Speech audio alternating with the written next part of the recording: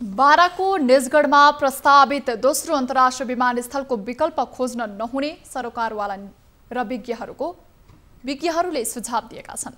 निजगढ विमानस्थललाई निर्विकल्प रूपमा अगाडि बढाउनु पर्ने र अबको बहस कसरी बनाउने भन्ने विषयमा केन्द्रित हुनुपर्ने उनीहरूले बताएका हुन्।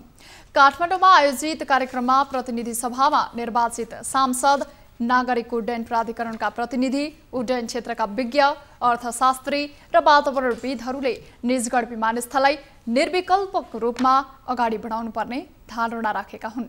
नेपाल नागरिक उड्डयन प्राधिकरणका महानिर्देशक राजन पोखरेलले करिब अढाई दशकदेखि विमानस्थल निर्माणका लागि प्रयास भइरहेको र प्रक्रिया सुरु समेत भइसकेको अवस्थामा आयोजनाको विकल्प खोज्न नहुने बताउनुभयो। विमानस्थल काठमाडौँबाट सबैभन्दा नजिकको दूरीमा रहेको गौतम बुद्ध विमानस्थल र पोखरा विमानस्थलको तुलनामा बढी क्षमता सुविधा सम्पन्न बनाउन सकिने प्राधिकरणको तर्क छ।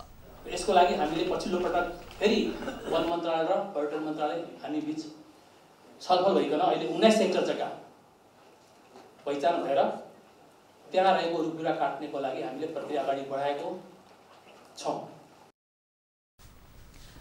अबको केही वर्षमा नेपालमा हवाई आवागमनमा देखिने वृद्धिको माग धान्न र हवाई कार्गो सञ्चालन गर्नका लागि पनि उक्त विमानस्थल बनाउन आवश्यक रहेको उहाँको भनाइ छ। नेपाल सरकारका पूर्व सचिव तथा प्राधिकरणका पूर्व महानिर्देशक वीरेन्द्र बहादुर देउजाले आयोजना बनाउन जति ढिलाइ भयो समस्या त्यति नै बढी जटिल भएर आउने बताउनुभयो। विमानस्थलको विकल्पका रूपमा ललितपुरको भट्टे डाँडामा निर्माण गरिने विमानस्थललाई लिनु हास्यपद भएको उहाँको तर्क छ। दिनको साढे पाँच सयवटा फ्लाइट ह्यान्डल गर्नु इट्स नट इज जोक। वास्तवमा बाई अल मिन्स चाहिँ हामीले चाहिँ त्यो बलजब चलाइरहेको छ टुरिज्म बन्द गर्नु भएन भनेर।